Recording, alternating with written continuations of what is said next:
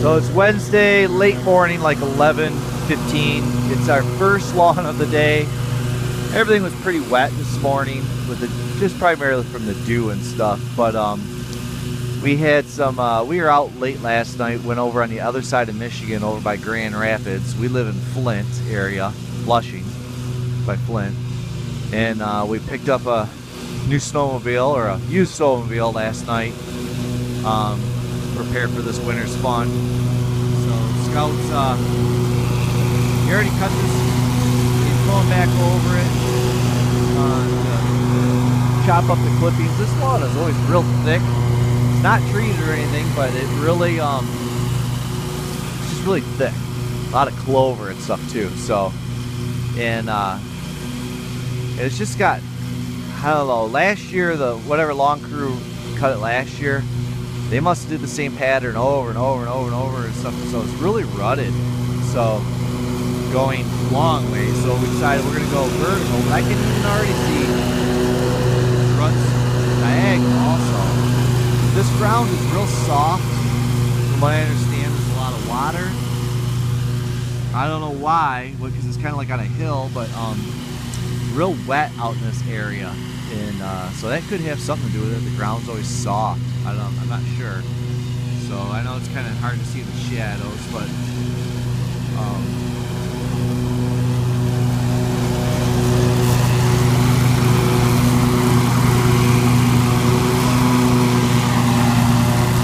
I went along the fence, and uh, there was a bunch of stuff sticking through the fence.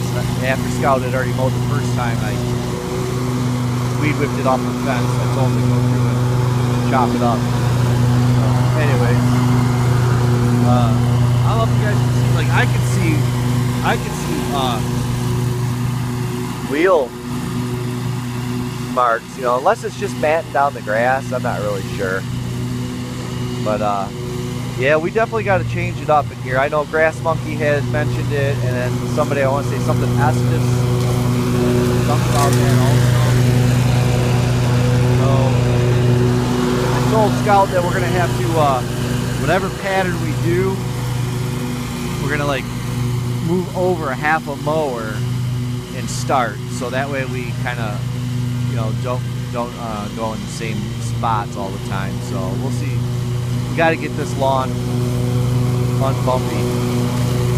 I actually just saw on Craigslist in my area, there's a mini asphalt asphalt roller. It's a small one, and uh, for like 600 bucks.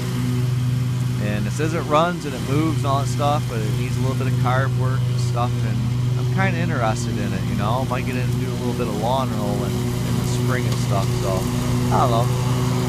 Uh, you guys let me know what you think. Uh, might get into it. I don't know. If nothing else, it'd be kind of fun to monkey with.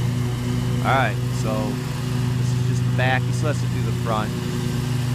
Try to make a little bit of video. We have a real light day. Actually, the rest of this week. We hit it hard yesterday. And just have a few lawns. A lot of stuff kind of switched to bi-weekly in this last week or so because lack of rain.